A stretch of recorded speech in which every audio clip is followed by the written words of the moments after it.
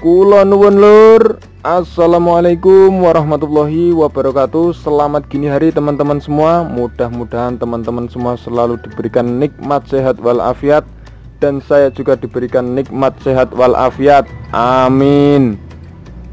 Di kesempatan kali ini saya mau sedikit sharing tentang cara penjualan Sunkara. Iya ini di depan kameramen udah ada sesosok satu karton Sunkara.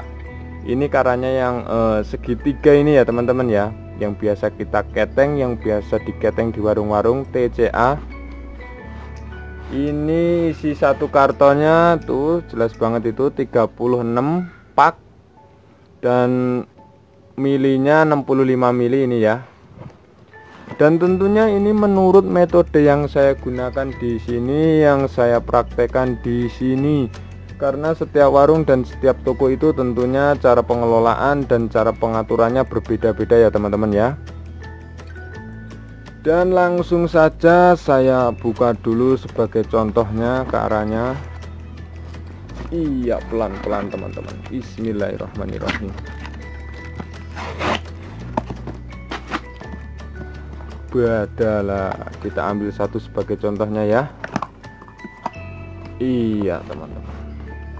Karena ini tentunya biasa digunakan untuk ibu-ibu rumah tangga yang buat masak ya buat nyayur ya teman-teman ya. Nih ini segitiga nih maksudnya tuh seperti ini. Shred shred oh, segitiga. Dan langsung saja menuju ke pembagian harganya teman-teman Sebelum menuju ke pembagian harganya seperti biasa saya mau mengambil laptop antik saya dulu.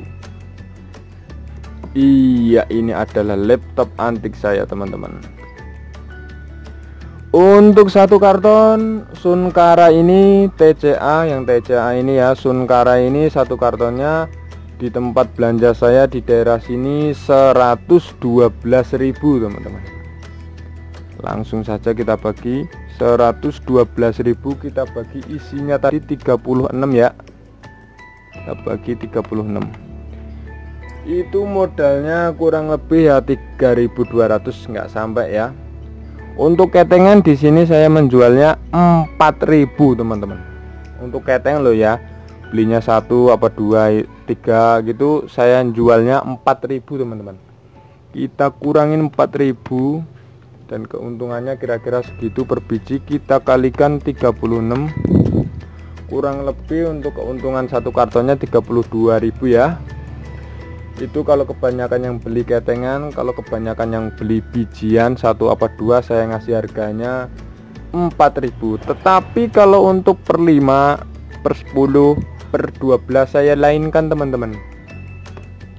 Jadi 112 kita bagi 36 di sini saya menjualnya tiga setengah. Kalau kebanyakan yang beli 5 biji 10 apa 12 karena pengambilannya lumayan banyak ya teman-teman ya. Atau buat dijual lagi itu bisa masuk harga grosir ya teman-teman ya. Kita kurangin tiga setengah. Kita kalikan 36 biji. Kurang lebih yang 4 14.000 ya untuk keuntungannya ya teman-teman ya. Sedikit-sedikit nggak apa-apa untungnya jadi buat lengganan lah hitung-hitung buat lengganan nggak apa-apa teman-teman. Kalau ada yang beli kartonan teman-teman bisa mengambilnya keuntungannya 1500 apa 1000 sudah cukup menurut saya.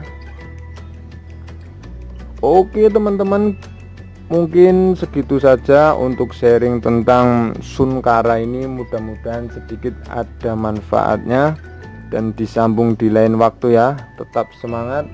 Terima kasih sudah mampir di channel Ari Sembako. Wassalamualaikum warahmatullahi wabarakatuh. Matur nuwun